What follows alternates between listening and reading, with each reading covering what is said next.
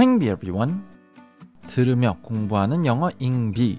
오늘은 바로 최근 북한 사건을 해외에서 어떻게 보도가 되는지 키워드로 알아보는 시간을 갖겠습니다. 최근 뉴스를 영어 키워드로 알아봐서 뉴스도 영어도 한 번에 공부를 하는 시간입니다. Let's go!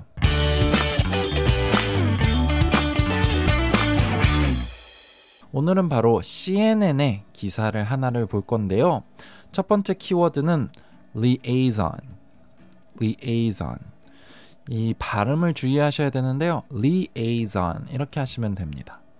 이 단어는 명사로서 연락이라는 뜻과 연락 담당자도 의미하기도 합니다. 그래서 두 조직 또는 다수의 조직 간의 정보와 의견을 교환, 연락 또는 그것을 담당하는 그런 사람을 의미합니다.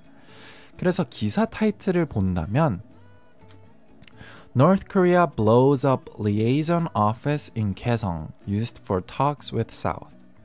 North Korea blows up liaison office in Kaesong used for talks with South. 북한은 폭파시켰다. liaison office 아까 조직 간의 연락 의견을 교환하는 담당하는 곳이라고 했죠. 근데 그런 office 사무소 그래서 연락 사무소 사무실이라는 의미죠. 저희가 얘기하는 남북 공동 연락 사무소를 뜻하는 겁니다. 개성에 있는 그리고 used for 용도를 의미할 때 이 표현을 사용하죠. 그리고 남과 얘기 회담을 하기 위해 라는 뜻입니다. 그래서 결국에는 남과 대한민국과 회담을 얘기를 하기 위해 사용되었던 남북 공동 연락 사무소를 북한이 폭파시켰다. 다음으로 볼 키워드는 joint, joint입니다. 이 단어는 뜻이 많은데요. 기본적인 의미가 두 가지가 만나는 부분을 의미합니다. 그래서 뜻 중에 관절이라는 의미도 있습니다. 몸의 두 부분이 만나는 부분. 저희가 볼 표현은 공동이라는 뜻을 가진 겁니다. North Korea has blown up a joint liaison office used for talks between itself and South Korea.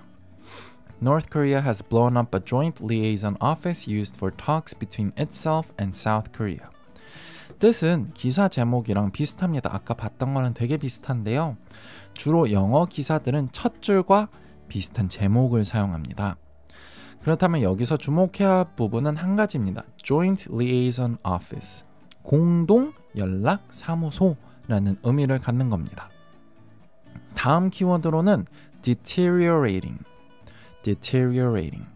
이 단어는 deteriorate에서 나왔죠. 그래서 뜻으로는 천천히 악화되다, 더 나빠지다 라는 의미를 갖고 있습니다.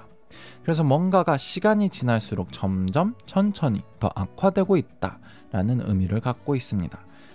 기사 내용에는 The latest sign that ties between the two long-time adversaries are rapidly deteriorating. The latest sign that ties between the two long-time adversaries are rapidly deteriorating. 제일 최근의 사인이다, 조짐이다, 흔적이다 라는 첫 부분이고요. 두 오래된 적들의 adversaries, 오, 적이라는 의미고요. long time, 오래된 그리고 있는 ties between이라고 써 있죠. 이 ties는 연결 그런 관계가 rapidly deteriorating 빠르게 안 좋아지고 있다. 빠르게 악화되고 있다.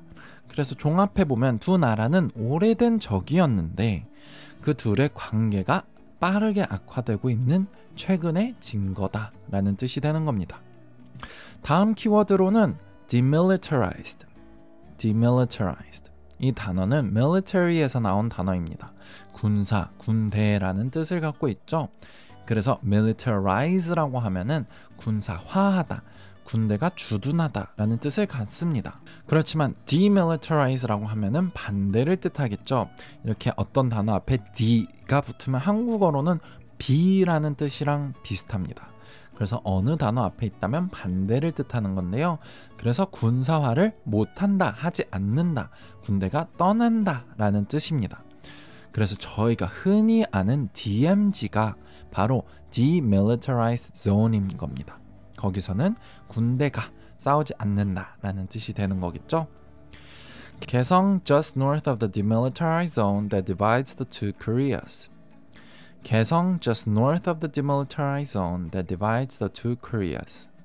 개성은 DMZ 북쪽에 있고 한반도를 나눈다 라는 뜻입니다. 다음 키워드는 leaflets. leaflets. 이 단어는 조금 생소하실 텐데요. 이번 사건에 너무나도 중요한 역할을 했죠. 저희가 흔히 얘기하는 전단을 의미합니다. 다양한 형태의 전단을 의미하는데요. 얇은 책자부터 종이, 팸플릿, 광고지, 전단지 등 모두 의미합니다. 그래서 여기서는 대북 전단을 의미했던 겁니다. They used balloons to send anti-North Korean leaflets north of the DMZ. They used balloons to send anti-North Korean leaflets north of the DMZ. 그들은 풍선을 사용해서 대북 전단을 DMZ 북으로 그 위로 보냈다. 마지막 키워드는 defectors. Defectors. 이 단어는 defect라는 단어에서 나왔죠. 어느 나라나 단체를 버리고 탈퇴하고 도망가다라는 뜻입니다. 그래서 이 단어는 명사형으로 탈주자, 탈당자, 배반자, 망명자를 의미해서 저희 저희가 보는 이 사건에서는 탈북자를 의미하는 겁니다. 김여정 demanded the South Korean government punish the defectors. 김여정 demanded the South Korean government punish the defectors. 김여정은 대한민국 정부에게 요구를 했다. 탈북자를 심판하라고 라는 뜻입니다. 네, 오늘은 이번 남북 공동연락사무소 폭파 사건과 관련된 영어 키워드를 봤습니다. liaison, joint, deteriorating, demilitarized, leaflets, defectors. 유용하셨다면 구독과 좋아요 부탁드리고요. 오늘은 여기까지입니다. Bye everyone.